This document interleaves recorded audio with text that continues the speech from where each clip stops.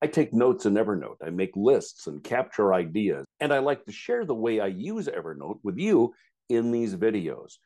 A lot of times I focus on major updates that Evernote is doing or some major feature rollout, but from time to time, I also like to share smaller features that don't seem to get a lot of attention as others, but are very powerful to use. I'm Dave Edwards. Today, I want to remind you or let you know about two features that I find very helpful inside of Evernote. Occasionally, I'm in a situation where it's just not practical to type out notes on my iPad's keyboard or on my phone. So I take a note on a paper. Now, I could type them later into Evernote, but another option is to use the camera on my smartphone. Here's how you do it. First of all, launch the in app camera on your mobile phone.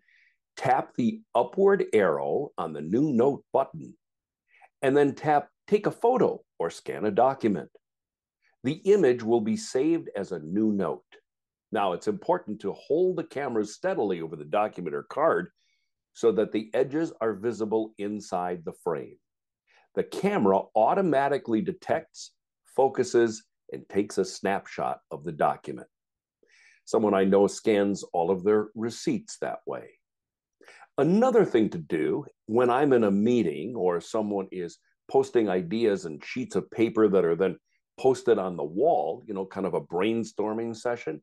Well, rather than write everything down, I use my camera on my phone, take a picture of them. Now I can insert that picture into my notes or just put them into a note of their own. And don't forget about the Evernote web clipper.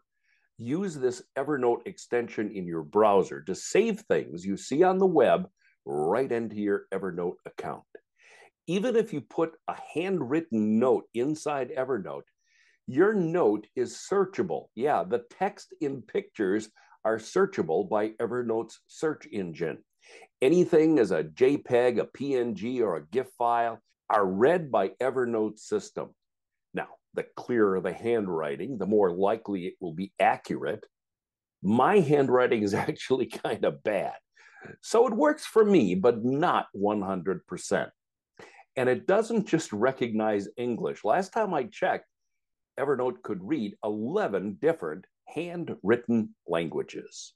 So I'm wondering, do you use these tools? If so, how and why? Post a comment below. I'd love to read them. I'm Dave Edwards.